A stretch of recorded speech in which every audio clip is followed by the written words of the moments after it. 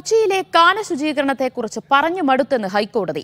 അവസാന നിമിഷമാണോ കാര്യങ്ങൾ ചെയ്യുന്നതെന്നും ഒരു മാസ്റ്റർ പ്ലാൻ വേണ്ടേയെന്നും കോടതി കോർപ്പറേഷനോട് ചോദിച്ചു. ജനങ്ങൾ കാനകളിൽ മാലിന്യം നിക്ഷേപിക്കുന്നത് തുടരുകയാണെന്ന് കൊച്ചി കോർപ്പറേഷൻ മറുപടി നൽകി. കൊച്ചിയിൽ നിന്ന് ഷംന അശോക് വിവരങ്ങൾ നൽകും. ഷംന ഇതിനു മുൻപും ഹൈക്കോടതിയിൽ നിന്ന് കാന ശുചീകരണവും കൊച്ചിയിലെ വെള്ളക്കെട്ടുമായി ബന്ധപ്പെട്ട കോർപ്പറേഷന് അതിരൂക്ഷമായ വിമർശനങ്ങൾ നേരിടേണ്ടി വന്നിട്ടുണ്ട്. ഇന്ന് ഹൈക്കോടതിയിൽ നിന്ന് ആ വിമർശനം അത് എത്രത്തോളം കടുത്തതാവുകയാണ് ഉണ്ടായത്? എന്ത് നിർദ്ദേശമാണ് ഹൈക്കോടതിയിൽ നിന്നുണ്ടായത്? കഴിഞ്ഞ വർഷം ഹൈക്കോടതിയുടെ കൂടി ഒരു ഇടപെടലിന് പിന്നാലെയാണ് ഈ എറണാകുളത്തുണ്ടായിട്ടുള്ള വെള്ളക്കെട്ട് പലതരത്തിലും ഒഴിവാക്കാനുള്ള തീവ്ര ശ്രമം കോർപ്പറേഷന്റെയും ജില്ലാ ഭരണകൂടത്തിന്റെയും ഭാഗത്ത് നിന്നുണ്ടായിട്ടുള്ളത്. പക്ഷേ ആ ശ്രമങ്ങളൊന്നും ഇത്തവണ കണ്ടിട്ടില്ല എന്നുള്ളതാണ് കോടതി പറയുന്നത്.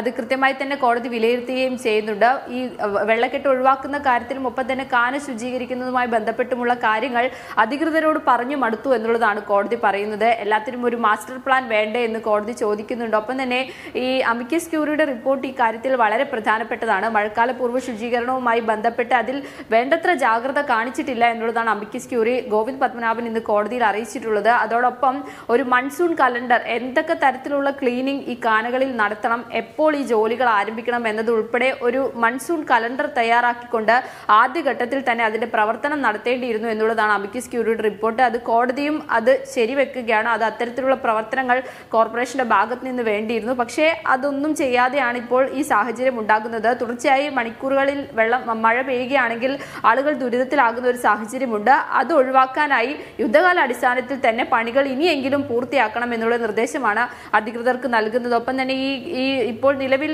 ഇടപ്പള്ളിയിൽ ഉൾപ്പെടെ കാനകളുടെ ശുചീകരണം പുരോഗമിക്കുകയാണ് എന്നുള്ള കാര്യത്തിൽ കോർപ്പറേഷനും ഒപ്പം തന്നെ ഇറിഗേഷൻ ഡിപ്പാർട്ട്മെന്റും ഹൈക്കോടതിയെ അറിയിച്ചിട്ടുണ്ട്. മാത്രമല്ല കൊച്ചി കോർപ്പറേഷൻ ഒരു പ്രധാന പ്രശ്നമായി പറയുന്നത് കാന ശുചീകരിക്കുന്നതിന് പിന്നാലെ തന്നെ കൂടുതൽ ആളുകൾ മാലിന്യങ്ങൾ ഈ കാനയിലേക്ക് നിക്ഷേപിക്കുകയാണ് അത് വലിയ പ്രതിസന്ധി സൃഷ്ടിക്കുന്നുണ്ട്. പ്രത്യേകിച്ച് പൊതുജനങ്ങളാകട്ടെ ഹോട്ടൽ ഉടമകളാവട്ടെ മറ്റ് സ്ഥാപനങ്ങൾ നടത്തുന്നവരാകട്ടെ കാനയിലേക്ക് മാലിന്യം തള്ളുന്നത് പതിവാവുകയാണ് എന്നുള്ള കാര്യം കോർപ്പറേഷൻ ഇന്ന് ഹൈക്കോടതി അറിയിച്ചിട്ടുണ്ട്. അതുകൊണ്ട് ഇത്തരക്കാർക്കെതിരെ കർശനമായ നടപടി സ്വീകരിക്കാനാണ് കോടതി നിർദ്ദേശം നൽകിയിട്ടുള്ളത്. ഒപ്പം തന്നെ പി ആൻ ടി കോളനിയിലെ നിന്ന് മാറ്റി പാർപ്പിച്ച ആളുകളുടെ ഫ്ളാറ്റിലെ ചോർച്ച കൂടി ഇന്ന് കോടതിയുടെ പരിഗണനയിലേക്ക് വരികയുണ്ടായി. അത് വി ഐ പികളുടെ വീടാണെങ്കിൽ അവർക്ക് അവർ ചോദിക്കില്ലേ? സാധാരണക്കാരായതുകൊണ്ടല്ലേ അവരോട് ഇത്തരത്തിൽ ചെയ്തത് എന്നുള്ളൊരു ചോദ്യം കോടതിയുടെ ഭാഗത്ത് നിന്നുണ്ടായിട്ടുണ്ട് ഏതായാലും ജി സി ഡി എനോട് ഇക്കാര്യത്തിൽ ഒരു റിപ്പോർട്ട് കോടതി തേടിയിട്ടുണ്ട്. അത് വരും ദിവസങ്ങളിൽ കോടതിയുടെ പരിഗണനയിലേക്ക് വരും. മൺസൂൺ ആയതുകൊണ്ട് തന്നെ കൃത്യമായ ഇടവേളകളിൽ ഈ വെള്ളക്കെട്ടും സാഹചര്യവും കോടതി നിരീക്ഷിക്കുന്നുണ്ട്. അതുകൊണ്ട് അടുത്ത വെള്ളിയാഴ്ചയായിരിക്കും കൊച്ചിയിലെ വെള്ളക്കെട്ട് സംബന്ധിച്ച ഹർജി ഇനി ഹൈക്കോടതി പരിഗണിക്കുക. യെസ് ഷംന അശോകാണ് കൊച്ചിയിൽ നിന്ന് വാർത്തയുടെ വിശദാംശങ്ങൾ നൽകിയത്.